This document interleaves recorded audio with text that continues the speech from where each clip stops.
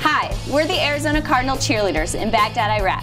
We would like to say thank you to the soldiers and families of the 1st Armored Division for all your time and hard work. Iron Soldiers,